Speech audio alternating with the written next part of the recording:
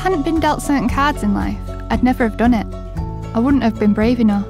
Running a business is so much harder than I thought, and there's lots of early mornings and very late nights. But my family are the reason for everything. They make all the hard work worth it. I might just look like a girl making cakes from home, but I'm Kelly, owner of the Manchester Cake House. I built it from the ground up, and that makes me so proud.